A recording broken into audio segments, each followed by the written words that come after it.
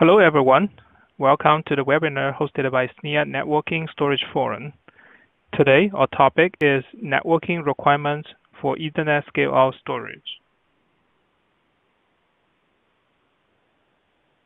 And I want to introduce uh, today's present, uh, presenters. We've got John Kim uh, from Mellanox. John is also SNIA NSF chair. Uh, we have Saqib Jang from Chelsio Communications. And this is Fred Zhang. This is the uh, moderator for today's presentation, and I work for Intel. Before we move into the topic, I want to give a quick introduction of SNIA, uh, Storage Networking Industry Association. It's a nonprofit uh, trade association um, actively working in the storage and networking industry. Um, SNIA got um, focusing on the uh, developers and, and, and promote promotions of the standard and technologies. And also SNIA provides education services to broad audience. Right now, SNIA is uh, uh, made of 170 unique member companies and has uh, 3,500 active uh, contributing members that reach out to a broad community of over 50,000 IT end users and storage professionals worldwide. You can learn more information about SNIA at snia.org uh, slash technical, and you can follow us on Twitter uh, at SNIA.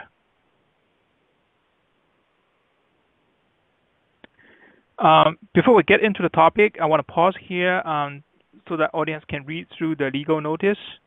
Um, you can see um, we'll have the presentation and the uh, webinar uh, record on SNIA uh, NSF, NSF website um, all the member companies and individual members can use those materials, um, but um, please make sure you um, cite SNIA as the source of the material and keep and keep the entirety uh, without any modification. Also, I want to emphasize like the, the, the last line of this slide, there's no warranties and use the, the content at your own risk. Okay, um, Let's move into the agenda items. What we will talk about at today's presentation. We'll start from the, the, the scale out storage solution overview. We'll define what is the scalability, scale out versus scale up.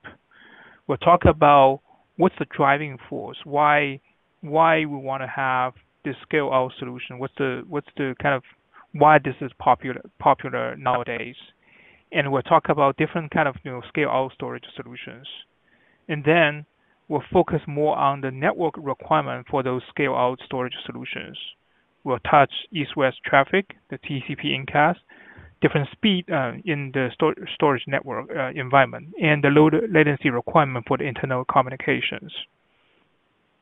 While the all-flash scale-out solution is getting more and popular, and we need to consider the uh, the all-flash scale, out solution storage solutions in the uh, Ethernet network uh, environment. So we'll touch on that as well, and then we'll summarize with the key takeaways. From here, I want to hand the mic over to John. John, please take over from here. Thank you. Fred, thank you very much.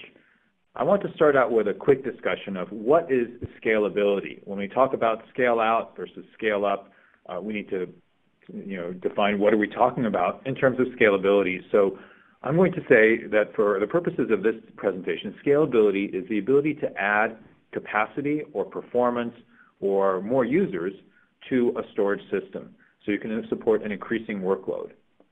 So when we say scale out, that usually means you add more systems or more hardware to one cluster. Uh, you, each additional piece of hardware system you add increases the performance or the capacity or both uh, usually both. Uh, you can manage these multiple systems together as a single virtual system in one cluster. So the whole you have multiple pieces of hardware connected together, but it looks like one system, and you manage it like one system. And there is often a cluster network, or I should say there's always a cluster network, which could be the same as the uh, regular network or could be a separate network. When we talk about scale-up storage, it usually means you add more capabilities to a single storage system you can add more capacity or performance, maybe faster CPUs or more CPUs, but at some point you hit the limit, and that single system cannot add any more. So then you've reached the scale up limit of that system, and you start adding more systems, and you manage each, each system independently. So at a high level, that's a difference between scale-out and scale-up storage systems. So here's an illustration. On the left side, we have a typical scale-up system, or actually four scale-up storage systems. They're all connected to the, uh, the network, which connects to the clients or the servers, and that's what we call the front end or client network. And the key is that each system acts independently and is managed separately. On the right, we have a, one type of scale-out storage system. We have four storage servers or storage nodes, but they're all running as a single cluster and appear to be a single system, and then they connect to the network. And in this case, we do show two separate networks, a front-end or client network to connect to the clients or application servers, and a back-end or cluster network that connects the different storage nodes together. But again, in some systems, those are uh, done on one network, and in some systems, they are two separate networks.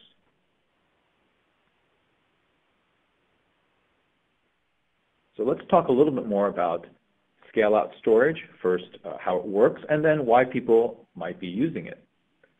So scale-out storage can refer to multiple types of storage technology. There's not just one kind. There are different types of, of scale-out storage.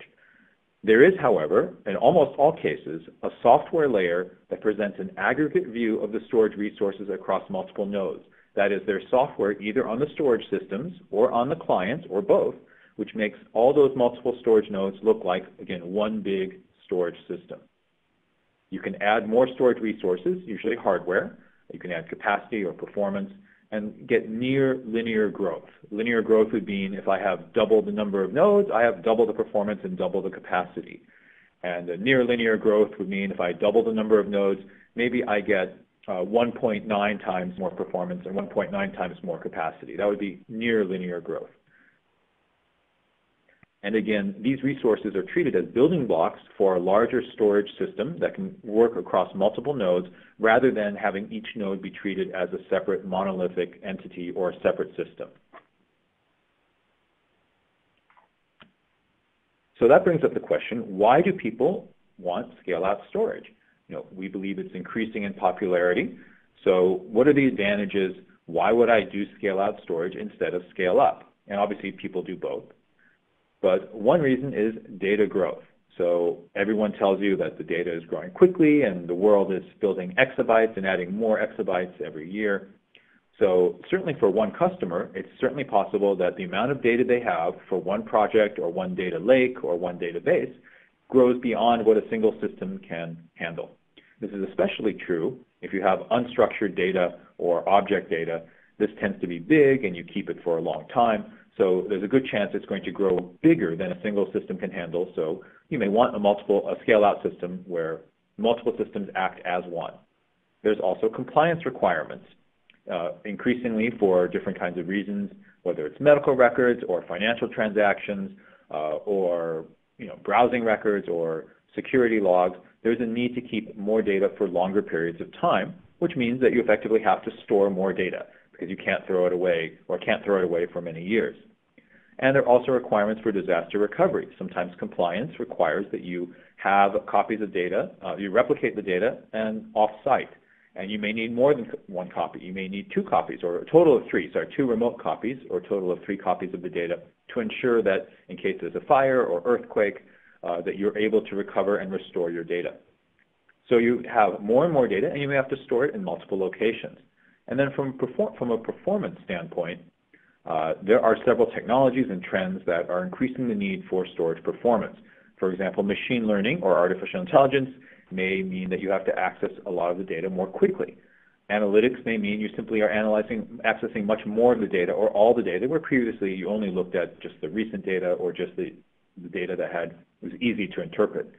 Parallel processing says that many different compute nodes may want to access the same data in different places at the same time. Uh, so you may have many servers that are all processing uh, the same set of data or parts of the same data set. Uh, therefore, it's easier to have all that data in one big storage, uh, scale-out storage system. And that's related to distributed access, again, for performance, or simply because you have people in different offices or different projects. Uh, you may need to have people processing the data or different applications who are accessing it from different geographical locations. And therefore, you want a, a storage system that can store the data across multiple locations. From a cost standpoint, there is the uh, there are potential savings for on the acquisition cost and operational cost for scale-out storage. So some types of scale-out storage can access can leverage less costly hardware, meaning less cheaper servers and less expensive networking. We'll cover more of that in, in another slide. And uh, for many storage admins find that if they have many, many individual systems, uh, say more than 10 or some number, that it may be more expensive to manage them individually than it would be to manage one large scale-out cluster.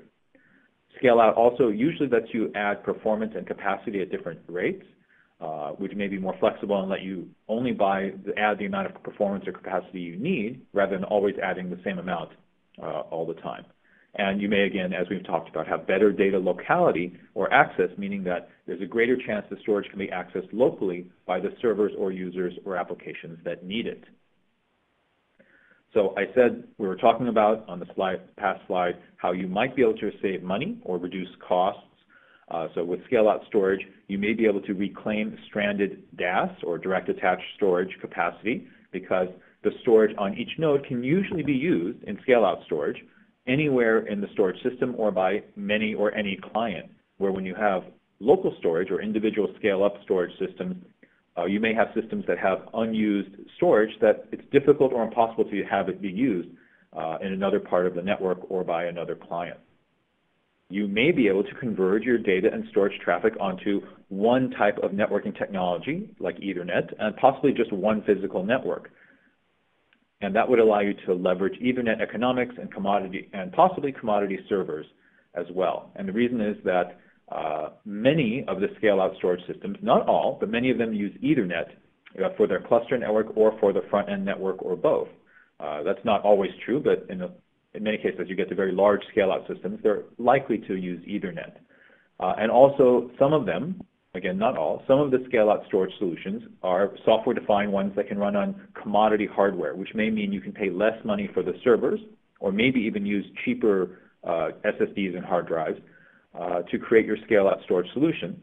But again, that's not true for all scale-out storage. There's certainly um, scale-out storage appliances that are branded and come all together prepackaged and predefined and are not on commodity hardware.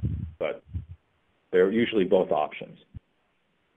So we defined how scale-out storage works, what are some of the advantages, and we said there's more than one kind. So here are some of the different types of scale-out storage that are out there.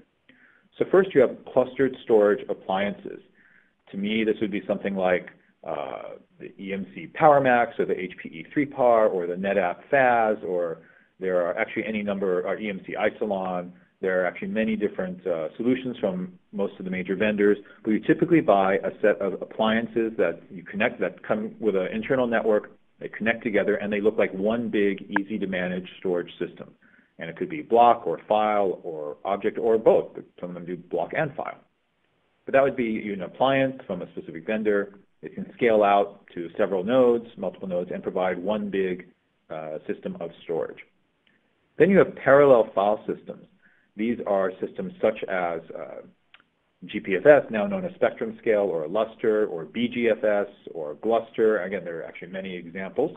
But these typically file systems that run across multiple storage nodes and sometimes um, have software running on multiple clients.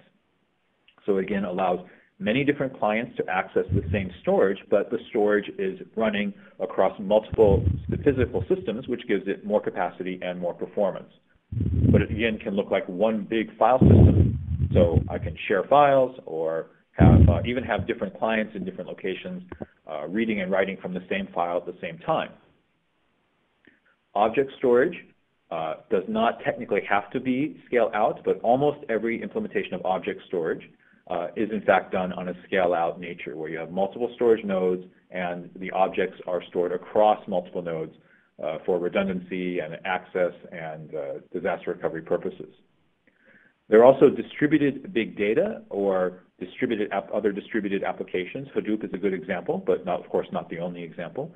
And in this case, you typically have data that's spread out across multiple nodes, which each do some compute on it. They store it, they compute on it, and then the results are collected or consolidated together, and then the process is repeated.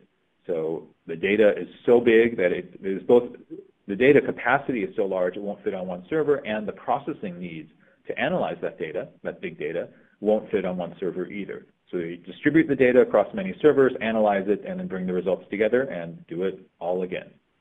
And finally, you have hyperconverged infrastructure, which in most cases, maybe not every case, but most cases, you have a series of servers. Each one has compute and storage, possibly a hypervisor, and each of them uh, will, sometimes they actually, uh, each node will access the storage on the other nodes, so you have distributed storage, and sometimes they access storage locally, but they replicate the storage to other nodes, again, for disaster recovery, uh, or in case you lose a node, you still have the data that existing on one or two other nodes.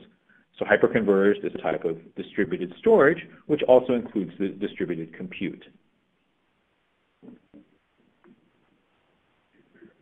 Now, it's not possible to have a discussion about network storage today without addressing the issue of flash and other types of solid-state storage because it's becoming so prevalent. Uh, obviously, capacity, hard drives are still a large percentage or the majority of the, the storage capacity out there. But in terms of spending and in terms of performance, you know, flash is definitely making, uh, has been growing for several years. So if you have scale-out flash storage, it lets you do centralized management of the flash as opposed to putting the flash storage in every server. Uh, it's usually easier to do the, the disaggregation and the management, again, as we talked about, by having one big system instead of having multiple storage servers with flash. And uh, this tends to, we've seen that this is usually popular with larger customers, uh, you know, hyperscalers, other service providers, either telco or cloud service providers, and large enterprises. Anybody can use scale-out flash storage, but it seems to be more popular with the big customers. And then there's NVMe over Fabrics. While NVMe over Fabrics is not inherently itself either uh, confined to scale up or scale out, it does allow network flash to be accessed at, uh, with a similar performance to local flash. So that means that in many cases, scale out flash storage becomes more practical because I can access it across the network and get similar performance or sometimes the same performance as if it were local. So uh, what, what happens if we go to flash storage? What does that mean for a scale out? Well, of course, the flash is faster than hard drives, so it's more likely the scale out storage will be used for a database workload or other transactional workloads, which means that they often, well, and with flash, you typically require either higher bandwidth or lower latency or both because you have higher performance expectations for the application and for the storage system. So most likely, you know, we talked about this network, uh, sometimes two networks that scale-out storage has. When you go with flash, you're more likely to need a faster network. You're also more likely to mix network speeds, and Saqib will talk more about what that means in just a minute. So uh, as I near the end of my section, we talked about the different networks and the need for this, uh, um, sometimes for a cluster network. What is the network traffic that is in the scale-out storage? You know, and why does it matter? Why is there? We say that there's more what we call east-west traffic. Uh, what is that, and why is it going east and west instead of north and south?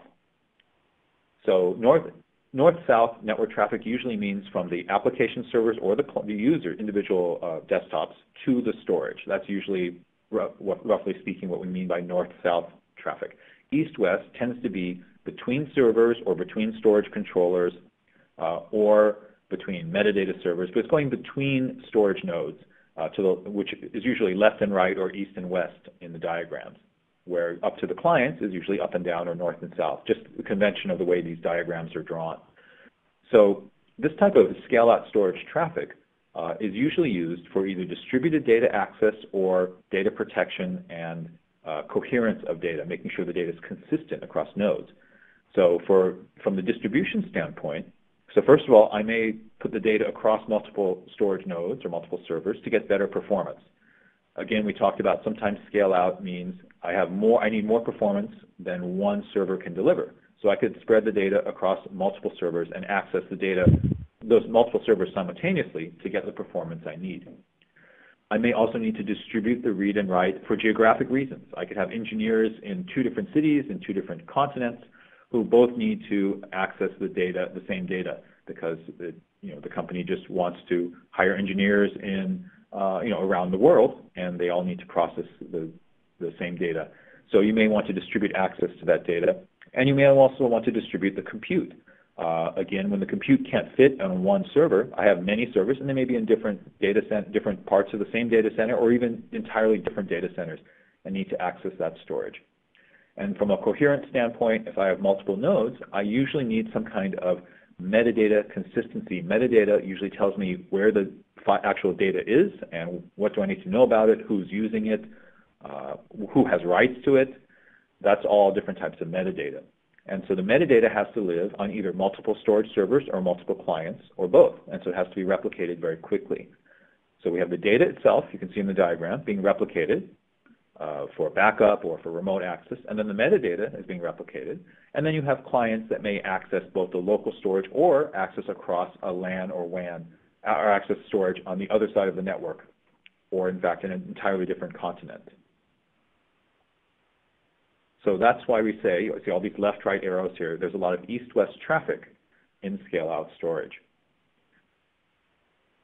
Right, so I think I got ahead of myself and I talked a little bit about this slide already in terms of why I have different kinds of data replication.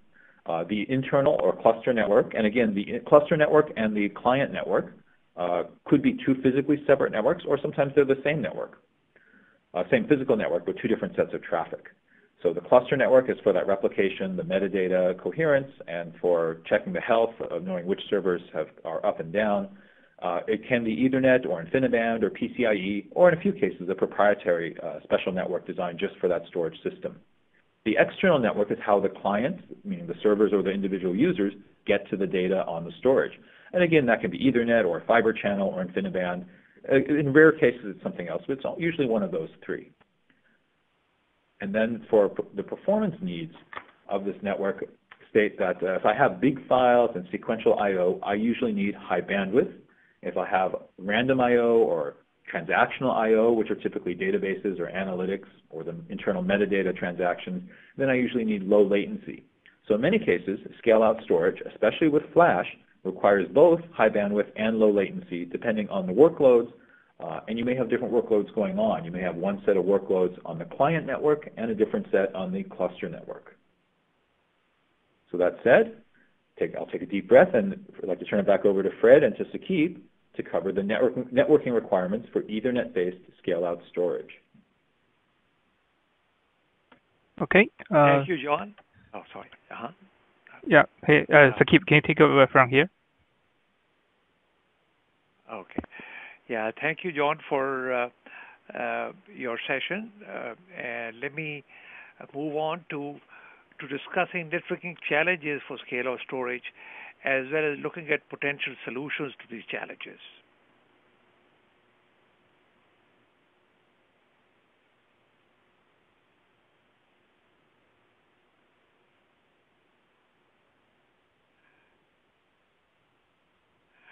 Scale-out storage networks require massive east-to-west performance and scalability.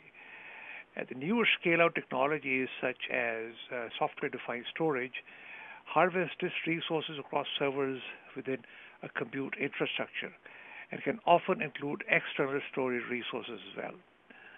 The DAS from the compute nodes is presented to the compute infrastructure as a pool of storage resources, enabling any-to-any connectivity for storage traffic rather than compartmentalized storage infrastructures as a traditional non-scale-out environments.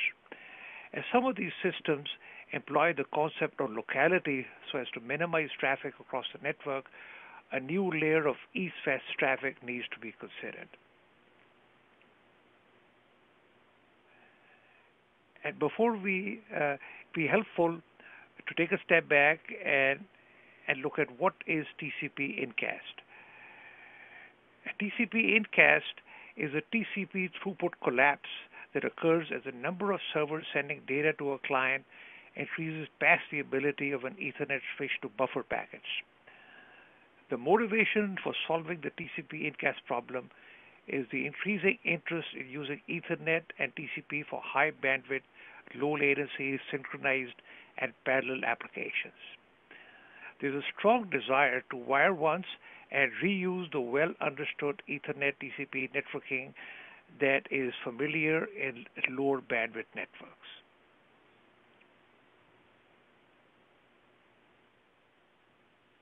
we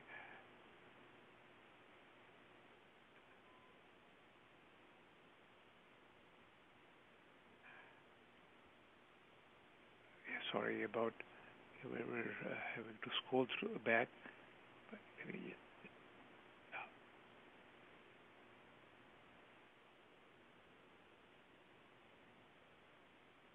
Yeah. So in terms of how TCP incast affects storage networks, or, or, or scale-out storage networks, the many to one TCP Incast communication problem is is a significant uh, networking challenge for scale-out storage networks.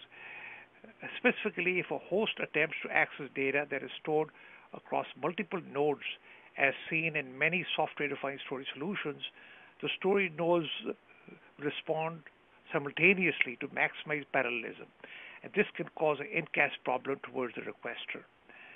As well as when many hosts access the same storage device simultaneously, a massive incast condition happens at the storage device and on the intermediate network links.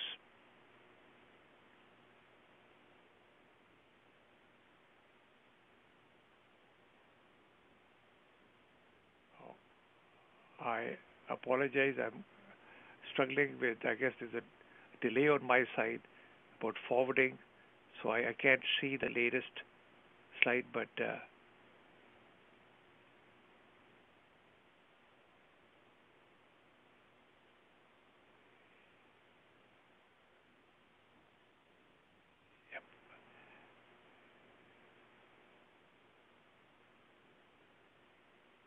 Okay. Now let's take a look at how networking speed mismatch can also affect the performance of scale-out storage networks.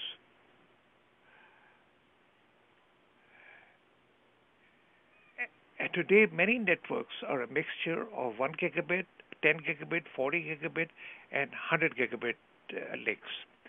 This speed mismatch can cause a condition where a server is connected at 10 gigabit but the storage system is connected at 100 gigabit, for example. In this scenario, a single request sent at 10 gigabit, but the responses from storage come back at 100 gigabit and must be serialized to 10 gigabit. This speed mismatch can lead to buffer exhaustion in a switch. This results in dropped packets, which degrades the performance of applications.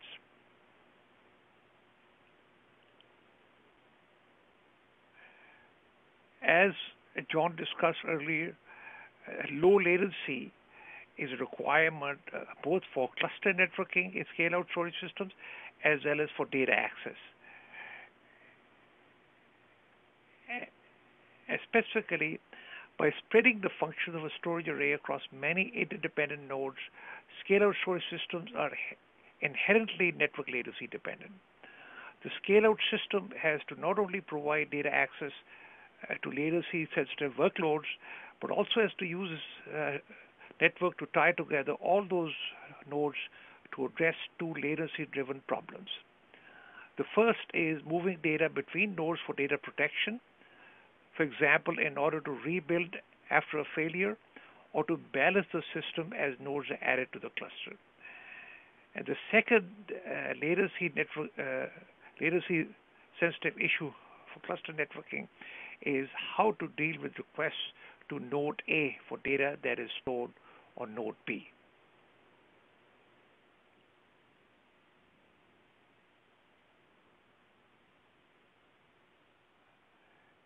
In terms of uh, recommendations for how to deal with these challenges, the, the main or of one of the important aspects is uh, regarding the speed mismatch issue specifically, uh, it is important to ensure that packets are delivered, and this requires deep buffered switches, where, uh, especially where speed differentials occur in the network. And there are two possible solutions to deal with the TCP incast challenge. The first is to increase the buffer size.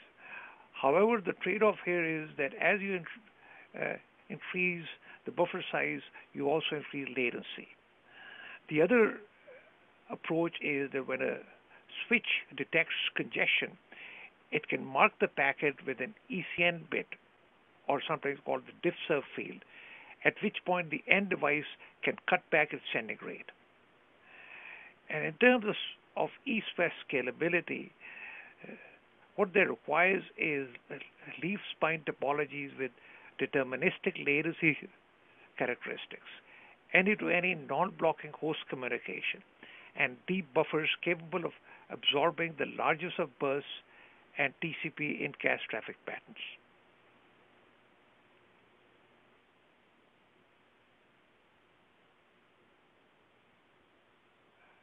And in terms of uh, enabling low latency communication among uh, nodes in a scale-out storage system, as well as for data access, um, Ethernet RDMA networking has come to the fore as a solution to this challenge. Uh, network interface cards that connect servers and storage nodes in scale-out storage Ethernet networks enable RDMA or remote direct memory access to read and write data directly into memory locations in a remote uh, system. To support RDMA or Ethernet, a new class of NICs has emerged.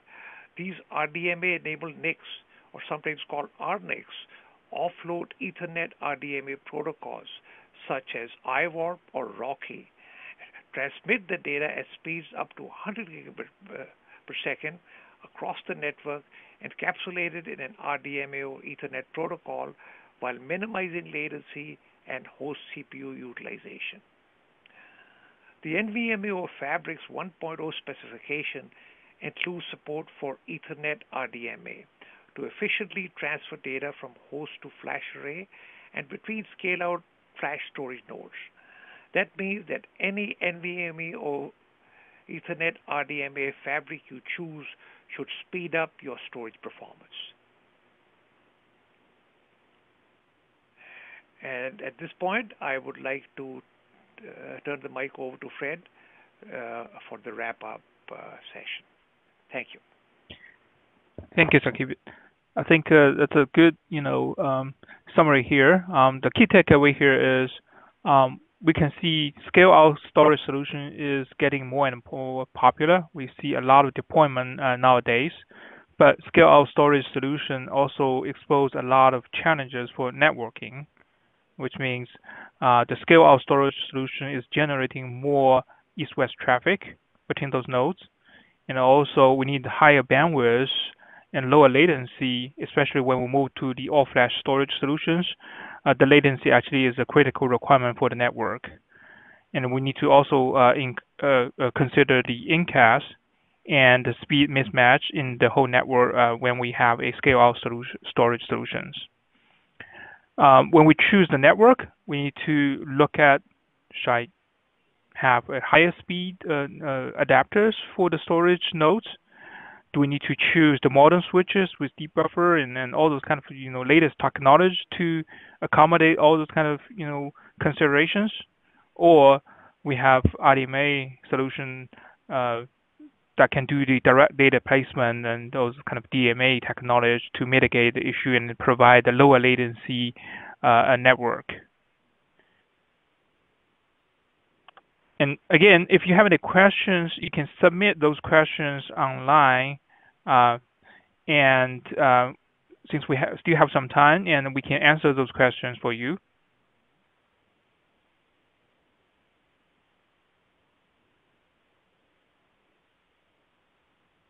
Okay. Before we close this uh, presentation, I want to do a little bit commercial here to talk about the upcoming NSF webcast. We'll have virtualization and networking storage best practice in January 17th, 2019. And we'll have networking requirement for hyperconvergence, um, and that will happen in February 5th, 2019. You can see the registration link here on the slide. Uh, those are very exciting and uh, interesting topic, and please um, join us and register online.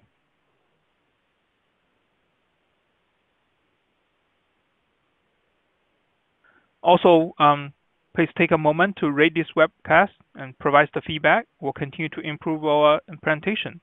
And you will find the recorded webcast and the PDF version of the slides on SNIA uh, NSF website.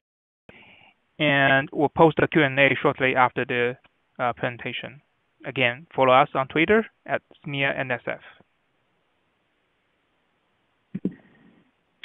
Fred, I actually I have a question that I thought we might discuss.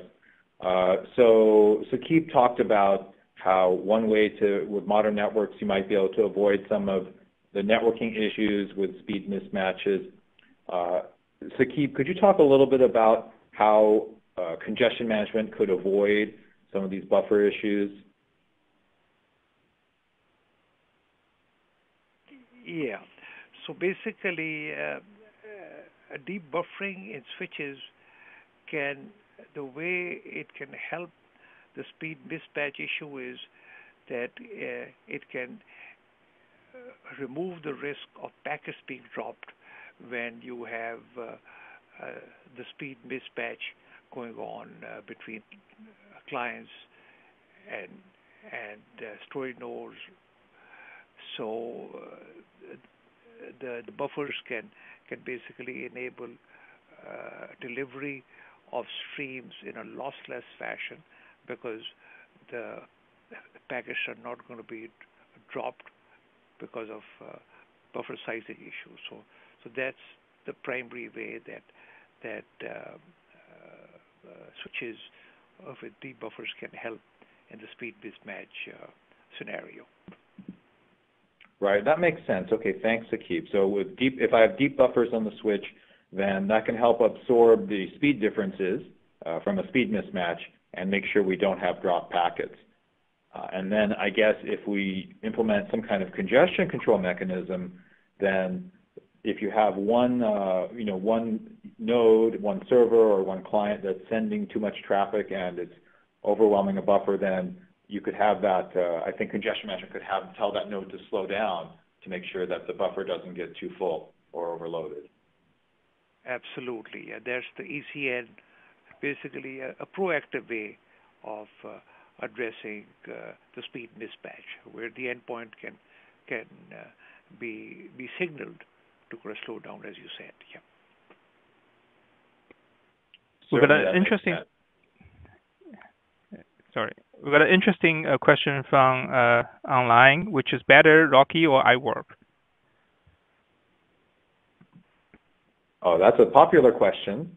Uh, I'm not sure if we address that uh, within uh, the NSF, but uh, I would I would say, Saqib, you can certainly comment. I would say that uh, both are supported by multiple network vendors. They both run on Ethernet. They both do RDMA. Um, certainly, the vendors be, who support them can argue about, or have, have, argued about which is better. Uh, do you want to say anything about that? Yeah, you know, uh, so we did a webcast, I believe, recently on the topic, or that covered that topic in detail, and there's a blog post associated with that webcast that uh, folks can refer to. So as opposed to taking, I mean, taking sides, the blog actually goes over different scenarios and and the, and the benefits of each. So I would refer people. I I can't think of the name of the webcast that we did on this topic right off the top of my head, but that would what I would suggest to folks to take a look at. Uh, I believe it happened like October of, or maybe September. Yeah. Saqib, that's a great idea. I think it was one of the great debates webcasts, and it was either called iWarp versus RoCE or RoCE versus iWarp, one of those. Exactly, yes. Right. Yeah, so actually, that's a great point. That's a webcast that specifically uh, addresses that question. Uh, we got another one. Um, any thoughts on the NVMe over Fabric with TCP/IP? the availability and um, what's the thoughts about that?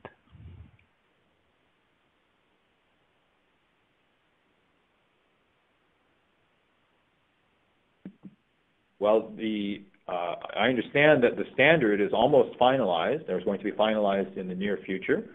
And I think the SNIA uh, Network Storage Forum NSF uh, might even do a webcast about it once the standard is out. Uh, certainly, it uh, promises the ability to get most of to get NVMe over Fabric's performance uh, by running over TCP/IP without RDMA, uh, it's I, I would expect uh, personally I would expect the performance will be lower than if you use RDMA, but it's not yet clear whether it'll be a little lower or a medium bit lower or a tiny bit lower. Uh, but you would it would allow you to do it without having uh, without using RNICs. So I think that's the interest is that you can do NVMe over fabrics without RDMA, uh, and the, the and but the cost the cost so to speak is that the performance will be lower. How much lower uh, is not maybe not clear yet. So there have been some pre-standard uh, demos or tests. But I think that's a very uh, it's a very hot topic, and uh, this, again, the standard is not done, but it's supposed to be uh, done pretty soon. Yeah, yeah if I could just add, uh, yeah, there's a lot of interest, and uh, uh, from an ease of use standpoint, from of deployment standpoint, as well as there are different types of approaches for doing NVMe or TCP uh, with different performance trade-offs. If it's all done in software on both ends, there's one approach, but there is uh, the potential of having better performance, even as close to to NVMe or Fabrics RDMA performance, uh, if specialized adapters that do TCP offloaded hardware are used on uh, uh, for NVMe or TCP. So that's an area that I think would be helpful to monitor and to be looking at and stuff. Yeah. Yes, Saqib, I, I agree with that 100%, with what you said 100%.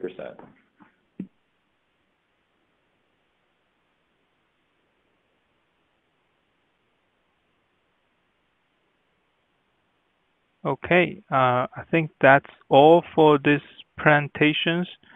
Uh, any anything else uh, from John or Saqib you want to add? Fact, usually somebody asks if they'll be able to uh, view the presentation, the recording, or download the slides. So maybe you could uh, address that.